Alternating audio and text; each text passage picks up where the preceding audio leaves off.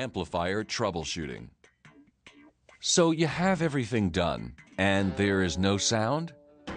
There are a couple of things we can check. First, let's make sure the amp has power. Is the LED on? If not, be sure the power, ground, and amp turn-on wire are connected to the correct inputs.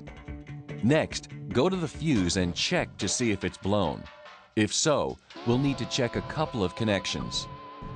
Check to be sure the amp's power wire is not being pinched and shorted to any metal surface. Make sure no part of the connector or wire is touching any metal point in the vehicle. If everything looks good, replace the fuse and try again.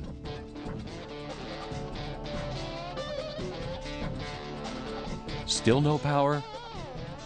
We will need to check the power at the amp. If you have any questions, feel free to consult Scosche technical support.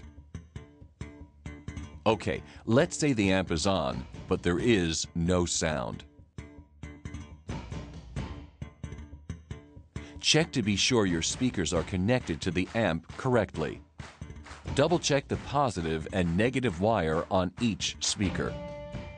If you have wired the amp into bridged mode, make sure the speaker is connected to the correct speaker terminals at the amp.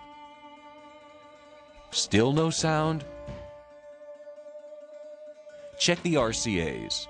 Make sure they are connected securely at the radio and to the amplifier. There are typically three warning LEDs to help you troubleshoot possible installation problems. The low voltage LED will light if the amplifier is not getting enough input voltage from the car battery. This may be caused by the power wire gauge being too small or the ground wire not being connected properly. Make sure your vehicle's battery is in good condition.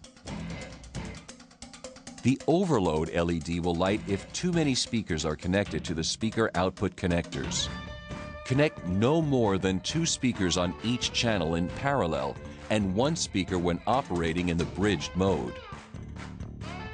The thermal LED will light if a speaker wire short is detected or if the amplifier reaches an unsafe high temperature. To reset, turn the system off and back on. If you are still having problems, feel free to contact Scosche Technical Support. They will help you get your system up and running. Enjoy!